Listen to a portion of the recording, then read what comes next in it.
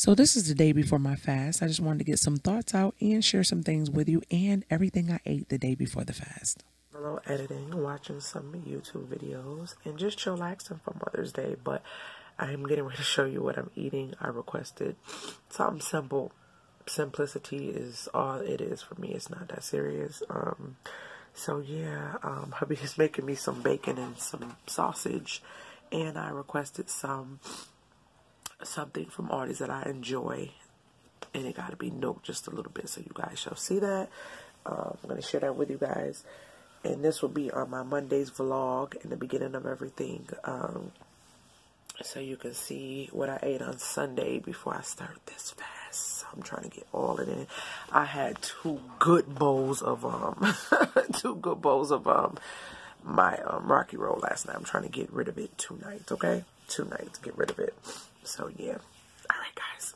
See y'all in a little bit. Alright guys, so this is my breakfast. This is all I wanted. It is a caramel pecan Danish from Aldi's and it's so the bomb, especially if you nook it for like a couple seconds.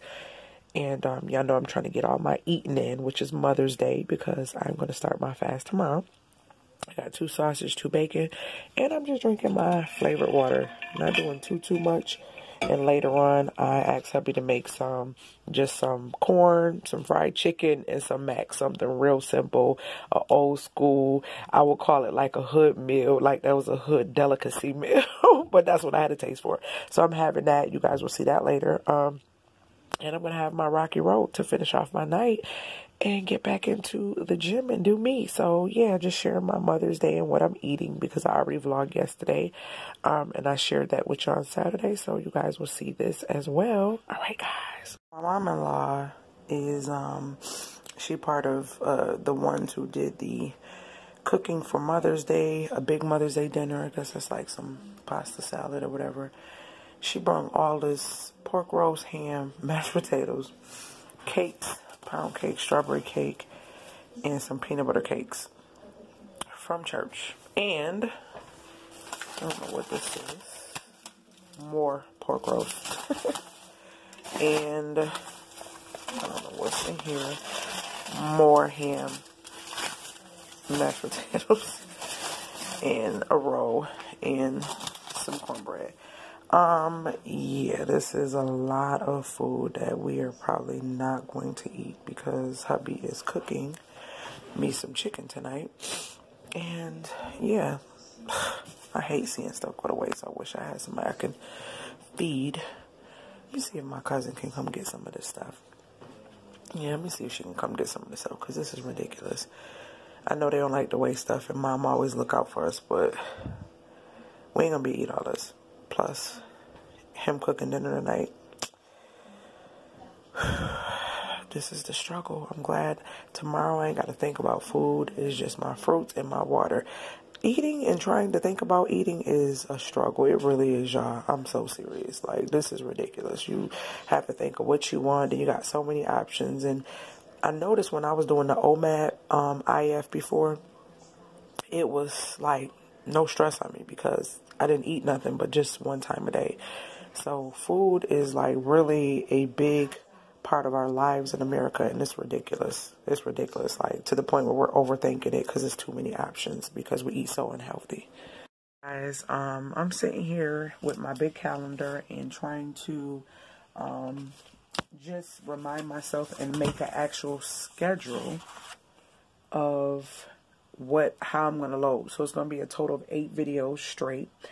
And um in this video you will have seen before my flush and then after my flush, which will be the um the uh, what have you know how much compaction I had from not using the bathroom after the flush. So early in the morning, I'm going to um, weigh myself once I get up because throughout the night I will be flushing myself from the Epsom salt flush on Sunday night all the way through until morning, and then Monday I will do after the flush, which will also be my first day one weigh in.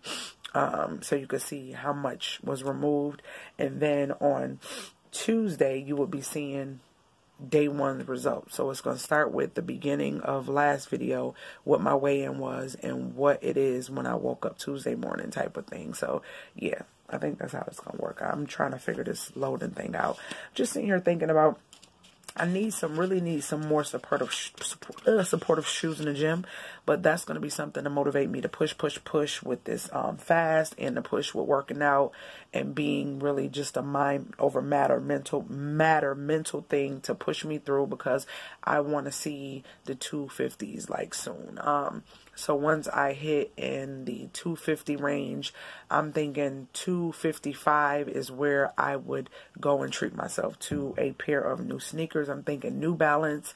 Um, yeah, I want some New Balances because they're nice and wide and they do good on your feet for working out and walking and all that good stuff. So I want some New Balances because my other ones that I've had for years, and I think we bought them when we first got here yeah, I had them for about three years, and we end. I end up walking and doing stuff in the house during renovations, and they got really messed up, and they're not as supportive anymore. I need a new pair, so that's gonna be my first um thing that I purchased for me as a uh, gift to myself for doing so good and reaching the 255 mark, or two. No, I'm gonna say 252 mark because I was 292 when I started. So my, when I had the 252 mark, that'd be 40 pounds down.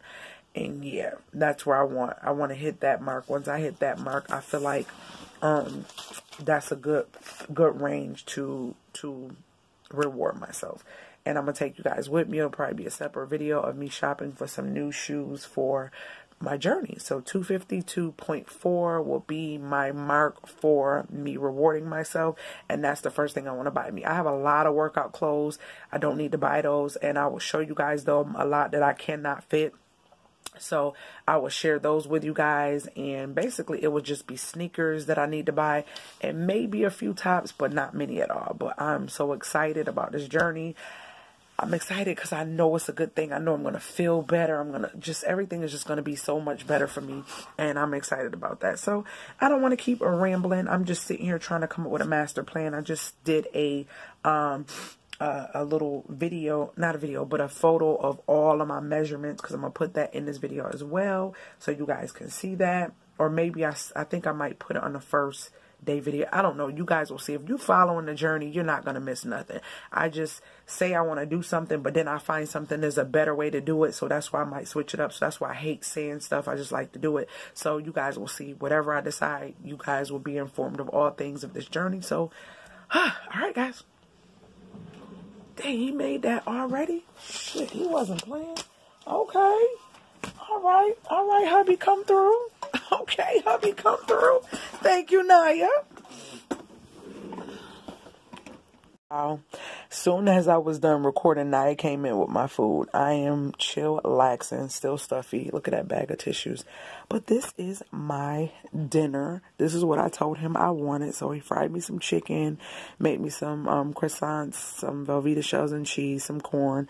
I got a ginger ale, some ranch, Oh, y'all need the stuff? Come on, ginger ale ranch and a Mother's Day. I don't know what it is, but I shall open it and see what it is. Why are you smiling? Here go my baby. I'm hungry. You hungry? All right, y'all. Let me uh, get into this food. I'm so glad he did it at five o'clock because I have to take the flush.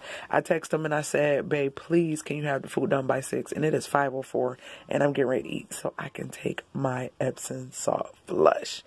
All right, guys. 5.30 I'm done eating. so I'm to wait about 30, 45 minutes before I eat my ice cream.